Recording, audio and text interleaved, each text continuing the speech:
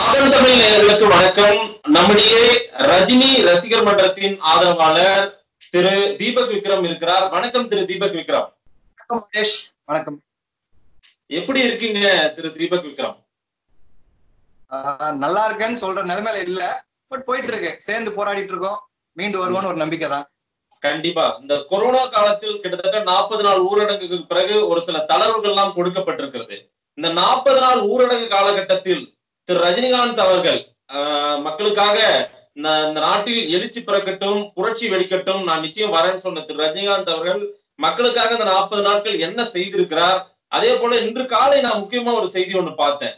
திரைப்பட தயாரிப்பாளர்கள் நலிந்த தயாரிப்பாளர்களுக்கு கிட்டத்தட்ட இருபது டன் அரிசிக்கு மேல வந்து அது மட்டும் இல்லாம சில அத்தியாவசிய பொருட்கள் எல்லாம் கொடுக்க எல்லாம் உதவிகள் ஏற்பாடு பண்ணியிருக்காரு. அதுல சில தயாரிப்பாளர்கள் வந்து திரு ரஜினிகாந்த் வந்து இந்த மாதிரி கொடுக்கறத எதிர்த்து இருக்காங்க அதை வந்து ஏத்துக்க வேணாம்னு சொல்லியிருக்காங்க.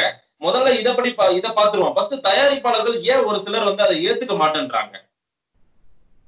என்னை பொறுத்த வரைக்கும் இன்னைக்கு நிறைய ஆர்டிகல்ஸ்ல டிஃப்ரெண்ட் கான்செப்ட்ஸ்ல தான் அந்த ஐடியாவை சொல்லியிருக்காங்க. இது படமா நடிச்சு கொடுக்கணும் அப்படின்ற மாதிரி ஒரு இதை வச்சிருக்காங்க. ஒரு இன்னொரு வந்து இல்லையே தேவை வேற வேற வழியில வந்துட்டு இருக்கு எங்களுக்கு. இவர்தான் பண்ணணுன்றது கிடையாதுன்ற மாதிரி இருக்கு. அது வந்து நம்ம அரசியல் ரீதியாவோ கட்சி ரீதியாவோ பார்க்க வேண்டாம். பட் அதை தாண்டி சில பேர் வேணும்ன்றதை எதிர்பார்க்கறவங்க நிஜமாவே இந்த ஹெல்ப் கண்டிப்பா இருந்தா நல்லா இருக்கும்னு நினைக்கிறவங்க சந்தோஷமா மனப்பூர்வமா ஏத்துக்கிறாங்க.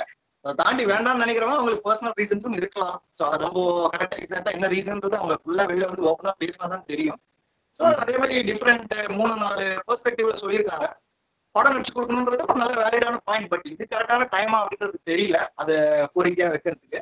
இதுவும் பார்ப்பாரு அது ரஜினிகாந்த் எல்லா விஷயத்தையும் ஆஸ்பெக்ட்ஸை திங்க் பண்ணிட்டு அவர் தரப்புல என்ன சொல்றாருன்னு பொறுத்து அது அந்த நலிந்த திரைப்பட தயாரிப்பாளர்களுக்கு படம் நடித்து கொடுப்பாரா திரு ரஜினிகாந்த்? அதுக்கு வாய்ப்பு இருக்கா? இப்போ வந்து இது கரெக்டான ஒரு எலெக்ஷன் டைம் இது ஓகே இதுக்கே இவர் வந்து இன்னும் நிறைய இந்த ஒரு எயிட் மந்த்ஸ்க்குள்ள பண்ண வேண்டிய வேலைகள் நிறைய இருக்கு அப்படின்னு தான் இத்தனை நாள் பேசிட்டு இருந்தோம். இப்போ கொரோனா வந்ததுக்கு அப்புறம் நம்ம எலெக்ஷன் அடுத்த மா அடுத்த வருஷத்துல வரக்கூடிய எலெக்ஷன் ஏப்ரல் மேல வர வேண்டியது கரெக்டா நடக்குமா? இல்ல அது தள்ளி போகுமா? இல்ல என்னன்றதெல்லாம் நம்ம பொறுத்து பாருங்க ஸோ இவருக்கு இப்போ இருக்கிற பணிகள் எலெக்ஷன் வராது வரல அப்படின்றத தாண்டி செய்ய வேண்டிய வேலைகள் நிறைய இருக்கு. ஸோ இப்போ அண்ணாத்தை பட ஷூட்டிங்கே இன்னும் நிறைய பெண்டிங் இருக்கு. Some twenty twenty five shooting pending so அதை எப்படி கம்ப்ளீட் பண்ணுவாரு? அதுக்கப்புறம் அவர் கால் அடுத்த படம் நடிக்க போறாரா? இல்ல என்ன இந்த ப்ரொடியூசர் டேரக்டர் அவர் கமிட் பண்ணிருக்காரா என்னன்றதெல்லாம் அவருக்கு தான் தெரியும். நிறைய ரூமர் சார்ந்து வெளில நிறைய வந்தது. இப்போ லோகேஷ் நகராஜ் கூட பண்றாரு அப்படின்னு. ஐம்பது சதவீதம் அது ரூமர்னாங்க ஐம்பது சதவீதம் உறுதியாயிடுச்சுனாங்க ஸோ அது என்னன்றதெல்லாம் பார்க்கணும் பொறுத்து வந்து பார்க்கணும். அறிக்கை அவர்கிட்ட வர வரைக்கும் லெட்ஸ் வெயிட் அது ஒரு பாசிட்டிவான கன்ஃபர்மேஷனா இருக்கும். ஸோ நம்மளே மாற்றி மாற்றி திருப்பி பேசிட்டு கடைசியாக அவர் வேற ஒன்று இருக்கணும்னு சொல்லுவார். நம்ம எல்லாருமே ஷார்ட் தான் ஆகும். ஸோ அந்த இதுக்கு இடம் கொடுக்க வேண்டும். பொறுத்து வந்து பார்ப்போம். அரசியல் ரீதியாக அவர் ஃபுல்லாவே உள்ள வராரா? இல்ல இன்னும் படங்கள் பண்ண போறாரா அப்படின்றத பொறுத்து இந்த நாற்பது நாள் ஊரடங்கு காலகட்டத்தில் திரு ரஜினிகாந்த் அவர்கள் மக்களுக்கு என்ன செய்தார்? ஏன்னா இந்த சிஸ்டம் சரியில்லை. இந்த சிஸ்டத்தை மாத்திரன்னு சொன்னவர் திரு ரஜினிகாந்த். புரட்சி வெடிக்கட்டும் எழுச்சி பிறக்கட்டும் எல்லாம் சொன்ன திரு ரஜினிகாந்த். மக்களுக்கு இந்த நாற்பது நாள என்ன செய்தார் சார்? ஒரு ரஜினி ஃபாலோவர் ரஜினி ரசிகனா எவ்வளவோ கஷ்டங்கள் இருந்தாலும் கொரோனாக்கு அந்த ஒரு அரை சதவீதம் ஒரு பர்சன்ட் நன்றி தெரிவிக்க வேண்டிய நேரம் இது. ஏன்னா கஜா புயல் ஒரு விதமான ஒரு ஹெல்ப் பண்ணிச்சு. அதாவது ரஜினிகாந்த் என்ன என்ன பண்ணா ரஜினிகாந்தோட ஆதரவாளர்கள் என்ன பண்ணார் அப்படின்றத காட்டுறதுக்கு அது ஒரு பிளாட்ஃபார்மா அமைஞ்சது. அது மாதிரி இப்போ கொரோனால பாதிக்கப்பட்டவர்களுக்கு ரஜினிகாந்த் முதல் ஆளா பெப்சி நிறுவனத்துக்கு ஐம்பது லட்சம் கொடுத்தாங்கிறது எல்லாருக்கும் தெரியும். அதுக்கப்புறம் நிறைய பேர் தொடர்ந்து வந்து அந்த பணிகள் பண்ணாங்க. காசா காசா கொடுத்தாங்க. இன்னும் நிறைய விதத்துல ஹெல்ப் பண்ணாங்க. மகிழ்ச்சி. ரெண்டாவது ப்ரொடியூசர் கவுன்சில் உங்களுக்கு தெரிஞ்சிருக்கும். அது எவ்வளவு குடும்பங்களுக்கு எவ்வளவு பண்ணாரு? எவ்வளவு டன்ஸ் எடுத்துட்டு போய் கொடுத்தாரு. சுதாகர் சார் அவர் கூடயே இருக்கிறவர் அவர் மூலியமா எடுத்துட்டு போய் நேரடியா போய் கு- எடுத்துட்டு போய் தர வேண்டிய பல டன் கணக்கு நீங்க சொன்ன கணக்கு தான் இருபதாயிரம் கேஜி ரைஸ் போச்சு அப்புறம் இவ்வளவு டன் கணக்கான இது எல்லாம் போச்சுன்றது தெரியும். இது அவர் சார்ந்து ரஜினிகாந்த் சார்ந்து செய்த விஷயங்கள் இது. இதை தவிர ரஜினி மக்கள் மன்றம் இன்னி வரைக்கும் மேபி இன்னைக்கு இல்ல நேற்று வரைக்கும் யாருமே இதை டிவியில காட்டலன்னு சொல்லலாம். இன்னைக்கு மார்னிங்ல இருந்து தந்தி டிவி அந்த பாலிமர் ரொம்ப கிளியரா அதையும் காட்ட ஆரம்பிச்சிட்டாங்க. ஒரு ஒரு டிஸ்ட்ரிக்ட்லயும் ஒரு ஒரு மாவட்டத்திலையும் எவ்வளவு பண்றாங்க அப்படின்றதுக்கான எடுத்துக்காட்டு எவ்ரிடே டிஃப்ரெண்ட் வீடியோஸ் பண்ணிட்டு இருக்காங்க அது ஃபேன்ஸ் ஆகட்டும் இதுவாக இருக்கட்டும் என்னென்ன பண்ணிருக்காங்கன்றது ஈவினிங் எண்ட் ஆஃப் நமக்கு அந்த வீடியோவா வந்து சேருது.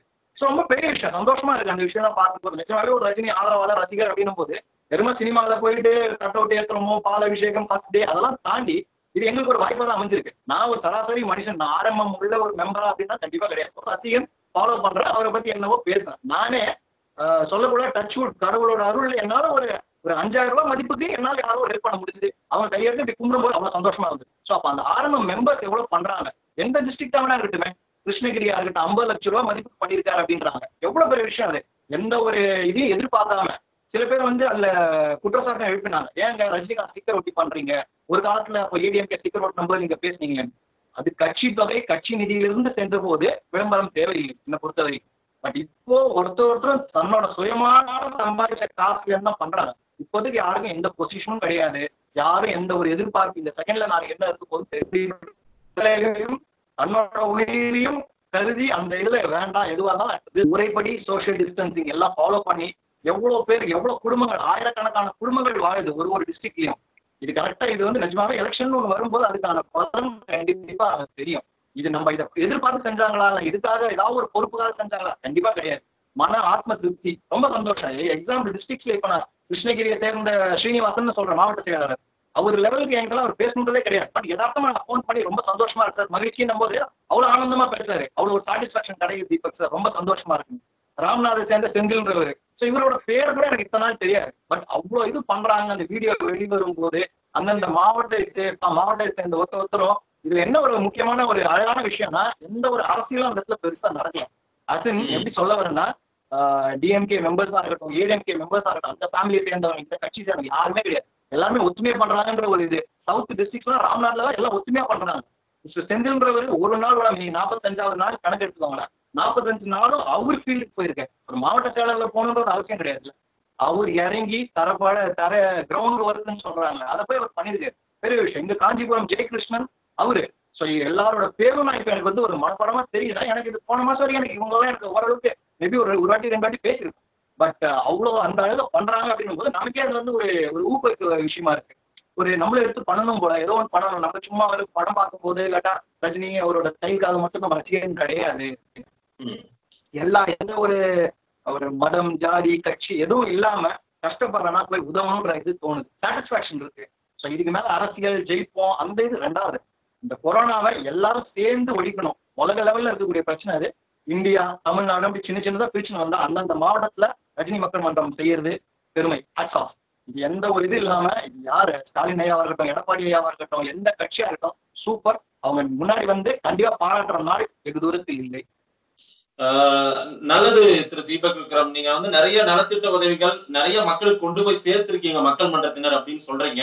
ஆனா ஒருபுறம் திரு ரஜினிகாந்த் அவர்கள் பெப்சிக்கு கொடுக்கப்பட்ட நிதியா இருக்கட்டும் அதே போல திரைப்பட தயாரிப்பாளர்கள் நலிந்த தயாரிப்பாளர்கள் கொடுத்ததா இருக்கட்டும் டன் கணக்கில் கொடுக்கறதா இருக்கட்டும் அதையெல்லாம் நாங்க கேட்க முடியுது. அதே போல மக்கள் மன்றத்தினர் கொடுக்கறது செய்தியா வரல ஊடகத்துல. அது கொஞ்சம் வருத்தமா இருக்கு அப்படின்னு நீங்க சொல்றீங்க. அதையும் நாங்க வந்து நீங்க சொல்றதை நாங்க அப்படியே மக்கள் கிட்ட கொண்டு போய் கொடுக்குறோம்.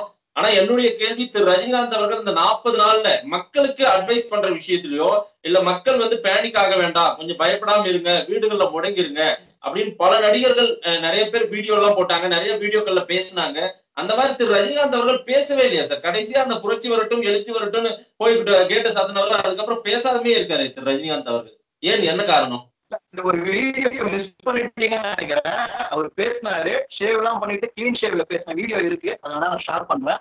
சோ அது யாரு அப்படின்னா நமக்கு சிங்கப்பூரை சேர்ந்த ஒரு அதிபர். அவர் சொல்லி அந்த ஒரு நீங்க ஒரு இது பண்ணா உங்க ஊர்ல மட்டும் கிடையாதுங்க. எங்க ஊர்ல இருக்கிற தமிழர்கள் முதல்ல அவங்க கூட கண்டிப்பா ஒரு விதமான ஒரு பாசிட்டிவ் மைண்ட் செட் வருவாங்க. கொஞ்சம் நீங்க பேசணும் அப்படின்னு சொன்ன மாதிரி அந்த சச்சின் டெண்டுல்கர் அண்ட் ரஜினிகாந்த் இந்த மாதிரி ஒரு ரெண்டு லீடர்ஸ் பேசினா எனக்கு இதுல ஃபாலோ இந்தியன்ஸை ஃபாலோ பண்ணக்கூடிய ஒரு ரெண்டு முக்கியமான நபர்கள்ல நீங்க ரெண்டு பேர். சைன்ல இருக்கக்கூடிய நம்ம என்ன இங்க இந்திய மக்களா இருக்கட்டும் யாரா இருக்கட்டும் அவங்க சைட்ல அங்க திருப்பி ரிட்டர்ன் ஊருக்கு வர முடியாது.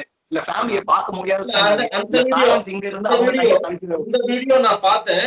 தீபக் விக்ரம் அந்த வீடியோ நான் பார்த்தேன். நான் பார்த்துட்டேன். அந்த அந்த வீடியோ பார்த்தேன். நம்ம தமிழக மக்களுக்கு என்ன சொன்னார் திரு ரஜினிகாந்த் அவர்கள்? ஏதேனும் முன் வந்து எல்லா வீடுகள்ல இருங்க அரசு சொல்றத ஃபாலோ பண்ணுங்கன்னு ஒரு வார்த்தை சொல்லியிருக்கலாமே அப்படின்னு நிறைய பேர் எதிர்பார்த்தாங்கல்ல. இல்லைங்க இப்ப அரசு சொல்றது அப்படின்னா இப்ப மத்திய சொன்னதை இவர் செய்யவே செஞ்சாரு. வெளில வந்தது. இப்ப கேண்டில் வச்சு நின்னாரு. அது விளக்கு. அதை நம்ம எல்லாரும் பாதி பேர் ஐம்பது சதவீதம் சூப்பர் அப்படின்னு சொல்லி வரவேற்றாங்க ஐம்பது சதவீதம் ஏன் இது பண்ணா இது பண்ணா கொரோனா போகுமான்னு கேள்வி கேட்டாங்க. அந்த சமயத்துல அவர் வந்து வார்த்தையா சொல்லி ஒரு ஒரு நிமிஷம் ரெண்டு நிமிஷம் வீடியோ சொல்லி தான் அது தெரிவிக்கணும்ன்றது கிடையாது. மக்கள் அவரை ஃபாலோ பண்றவங்க ஃபாலோ பண்ணணும்னு நினைக்கிறவங்க எல்லாருக்குமே ஓரளவுக்கு புரிஞ்சு போச்சு. இப்போ மக்கள் மத்தியில் ஹண்ட்ரட் பர்சன்ட் ரஜினிகாந்த் எந்த ஒரு எதிர்பார்ப்பும் எந்த ஒரு தேவைக்காகவும் வரப்போறது அரசியல் வந்தாலும் நாளை பின்ன வந்து நின்று அரசியல் கட்சி தொடங்கி எல்லாம் நடந்தாலும் சுயநலத்துக்கு இல்லைன்றது எல்லாருக்கும் தெரிஞ்சு போச்சு. அந்த பன்னெண்டாம் தேதி மார்ச் பேசின லீலா பேலஸ் மீட்லயே ரொம்ப தெளிவ தெளிவா சொல்லிட்டாரு. சோ அதுல பிரச்சனை கிடையாது இப்ப நமக்கு நமக்கு அவர் தரப்புல ஏன் வீடியோ சொல்லன்றது கேக்குறீங்க. கரெக்டான கேள்வி. நியாயமான கேள்வி. அவர்களும் பவர் பத்து மாசம் இல்ல நான் கேட்கல தீபக். மக்கள் எதிர்பார்த்தாங்க அவருடைய ரசிகர்கள் எதிர்பார்த்திருப்பாங்க. ஒருபுறம் பாத்தீங்கன்னா ஒருபுறம் பாத்தீங்கன்னா திரு. கமல்ஹாசன் அவர்கள் பல விஷயங்கள்ல வந்து அரச குற்றச்சாட்டு சொல்றதை நான் வந்து அவ்வளவு முன்னிலைப்படுத்தி நான் சொல்லல. இந்த நேரத்துல வந்து எல்லாரும் ஒன்றிணைந்து வேலை செய்யணும். ஆனா திரு. கமல்ஹாசன் அவர்கள் இந்த நாற்பது நாள்ல பல அறிக்கைகள் மத்திய மாநில அரசுகள் பால்கனி அரசுகள்னு கூட விமர்சனம் பண்றாரு. இவருடைய நண்பர் திரு. ரஜினிகாந்தருடைய நண்பர் கமல்ஹாசன் அவர்கள். ஆனா அரசியல் கட்சி தொடங்கிட்டாரு. திரு ரஜினிகாந்த் எதையுமே பேசலையா. அப்படின்னா அரசாங்கம் சரியா செயல்பட்டு இருக்கு எல்லா விஷயத்திலயும். அப்படின்னு திரு ரஜினிகாந்த் நினைக்கிறாரா இந்த நாற்பது நாள்ல? நீங்க சொல்ற மக்கள் ரசிகர் எதிர்பார்க்கறான்றீங்க என்னோட ஒரு பெரிய ரசிகர் யாருமே இல்லைன்னு பார்த்தா நான் நினைப்பேன். எந்த ரசிகனும் அதான் நினைப்பான். நான் அப்படிலாம் எதுவுமே நினைக்கல அவர்கிட்ட. மக்களுக்கு செஞ்ச உதவி அதுக்கு மேல ஹேட்ஸ் ஆஃப் தலைவா. அவ்வளவுதான். கமல்ஹாசன் மதிப்புக்குரிய நண்பர் கமல்ஹாசன் இவ்வளவு கேள்விகள் கேட்டாரு பிஜேபி கேட்டாரு எல்லா கட்சியும் கேட்டாரு சென்ட்ரல் எல்லாம் பண்ணாரு. மக்களுக்கு என்ன போய் செஞ்சாரு? எதுவுமே எனக்கு இது வரைக்கும் செஞ்சிருந்தாருன்னா சந்தோஷம். விஜயா இருக்கட்டும் அஜித்தா இருக்கட்டும் பண்ணிருக்காங்க. இவ்வளவு அமௌண்ட் கொடுத்துருக்காங்க பெருமையான விஷயம். தப்பே கிடையாது. இந்த இடத்துல யாருமே பிடிக்காத நடிகன் பிடிக்காத கட்சி எதிர்கட்சி எதுவுமே கிடையாது. பட் இவர் இவ்வளவு உதவிகள் செய்யறாரு இவ்வளவு இது பண்றாங்க. அது முக்கியமா? இல்ல ரெண்டு நிமிஷம் பேசுறது முக்கியமா? நிஜமாவே நீங்க வந்து அவர் தரப்புல இருந்து ஒரு அஞ்சு நிமிஷம் வீடியோ வந்தா போதும். ஆரம்பம் எதுவும் பண்ணாதீங்க. அவர் எதுவும் பண்ண வேணாம். நிதி உதவி யாரும் எதிர்பார்க்கல? அவர் சொல்ற வார்த்தை தான் இப்ப முக்கியம். ஏன்னா, கண்டிப்பா மேல எப்படியா சேர்த்துடுறேன். நீங்க சொல்ற மக்கள் யார் அந்த மக்கள்? அவங்க உதவி எதிர்பார்க்கறவங்க தான். மொத்த ரஜினி மக்கள் மன்றம் சார்பா வந்திருக்கோம். தலைவர் உங்களுக்கு நல்லா இருக்கணும்னு சொல்லியிருக்காரு. கடவுள் பார்த்துப்பாரு அப்படின்னு சொல்லி நம்ம இருக்கிற அந்த அரிசியோ பருப்போ காசோ ஏதோ எங்களால முடிஞ்சது. கொடுக்கும்போது நன்றி நல்லா இருக்கணும்ப்பா ரஜினி நீங்க நல்லா இருக்கணும்னு சொல்றாங்களே தவிர யாருமே அந்த வீடியோ எதிர்பார்க்கல. இப்போ இன்னி தேதிக்கு மக்கள் பேசணும்னா ஒண்ணு அவங்க. ரசிகர்கள் பேசணும்னா நாங்க. நாங்க எங்க சைட்ல தலைவர் ஹாப்பியா இருக்காரா நல்லா இருக்காரான்ற கவலை மட்டும் தான் எங்களுக்கு. எங்களால முடிஞ்ச நல்ல திட்டங்கள் என்னென்னவோ ட்ரைங் டு டூ மேக்ஸிமம் என்ன பண்ண முடியுமோ பண்ணிட்டு இருக்கோம். ஹாப்பி இல்ல தீபக் நான் கேட்கிற கேள்வி நீங்க நல்லா உள்வாங்கி நிச்சயமா பதில் சொல்லுவீங்கன்ற நம்பிக்கை இருக்கு. அதாவது அரசின் செயல்பாடுகள் எல்லாம் சரியா இருக்குன்னு திரு ரஜினி நினைக்கிறாரா? அதனால ஒண்ணுமே பேசலையோ? நான் குற்றச்சாட்டு தெரியும்.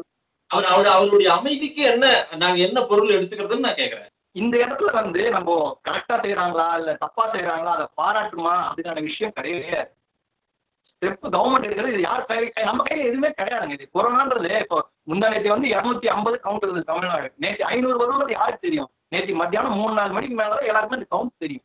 ஸோ என்ன ஆக போகுது ஏழு ஆக போகுது யாருக்குமே தெரியாது. நேற்று ஒரு டிசிஷன் ஏழாம் தேதி அன்னைக்கு டாஸ்மாக் ஓபன் பண்ண போறேன்றாங்க. இன்னைக்கு பார்த்தா வேற ரெண்டு மூணு நியூஸ் சேனல்ல இல்ல கிடையாது சென்னையில கிடையாதுன்றாங்க. ஸோ ஈச் அண்ட் எவ்ரிடே மக்களோட இதுவா இருக்கட்டும் அவங்களோட ஐடியாஸ் என்னன்னு தெரிய வச்சுதான் கவர்மெண்ட் செயல்பட்டு இருக்காங்க.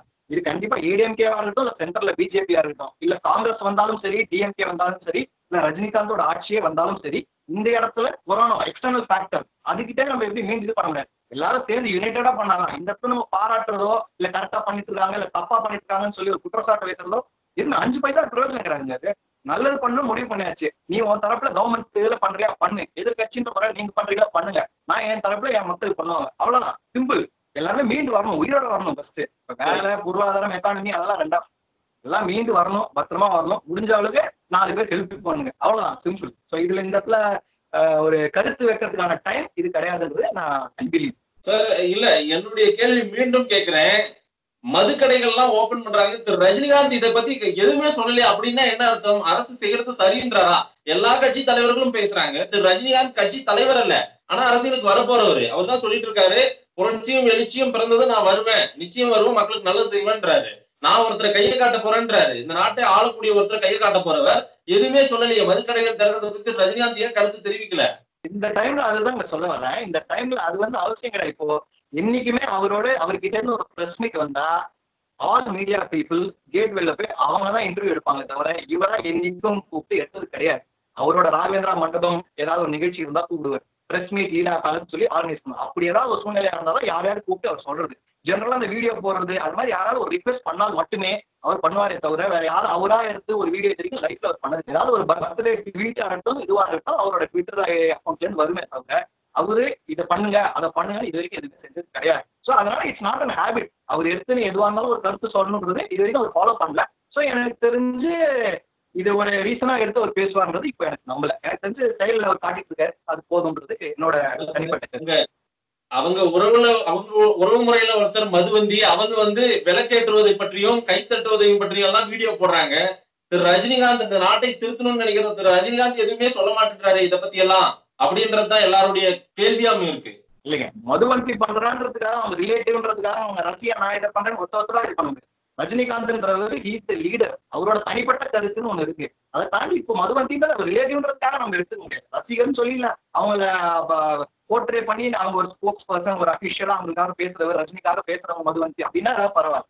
ஷீசன் ஒரு ரிலேட்டிவ் யாரா வேணாலும் ஒரே கட்சி ஒரே ஃபேமிலியில ரெண்டு பேர் ரெண்டு கட்சியில இருந்தவங்கலாம் கதையெல்லாம் நமக்கு இருக்கு. ஸோ அதனால அவங்க கட்சியில இருக்காங்க. இப்ப இவங்க ஏன் எதிர்கட்சி அப்பா அப்படின்ற கதையெல்லாம் நமக்கு தெரியும். அந்த மதுவந்தி பண்ணாங்க மேடம் பண்ணாங்க. அவங்க தனிப்பட்ட கருத்து. தலைவர் அதுக்கும் அதுக்கும் சம்மந்தம் இல்லாம தான் இருக்கு he has his own views அதான் கருத்து போஸ்ட் கொரோனா திரு. ரஜினிகாந்த் அரசியலுக்கு நிச்சயம் வந்துருவாரா சார் களத்துக்கு வந்துருவாரா? நம்பலாமா? ஹண்ட்ரட் பர்சன்ட் நம்பலாங்க. ஒரு ரசிகனா இத்தனை நாள் சொல்லியிருந்தேன். இப்போ அவர் பண்ற நலத்திட்டங்கள் இந்த டைம்ல கவர்மெண்ட் பார்த்துட்டு விட்டுருக்கலாம் இவ்வளவு ஆரம்பம் பண்றாங்க அப்படின்னும் போது அது கண்டிப்பா நன்றி தெரிவிக்க ரசிகர்கள் பண்றதுக்காக வருவார். பொதுமக்களை தாண்டி ரசிகர்கள் இவ்வளவு பேர் பண்ணிருக்காங்க ஒரு ஒரு நாள் நியூஸ் போகுது. அதுக்காகவே கண்டிப்பா வருவாரு. வரணும் நல்லது நடக்கும். நம்பிக்கை இருக்கு. வரட்டும் மக்களுக்கு நல்லது செய்யட்டும் ஒரு மாற்றம் பிறக்கட்டும். வாழ்த்துக்கள். அதே போல இந்த கொரோனாவிலிருந்து நாம மீண்டு வர போராடி கொண்டிருக்கிறோம். நிச்சயம் மீண்டு வருவோம். பழைய நிலைக்கு திரும்புவோம். இணைப்புல வந்து நிறைய கருத்தை சொல்லியிருக்கீங்க. நன்றி Thiru Deepak Vikram. Thank you Madhesh thank you take நன்றி.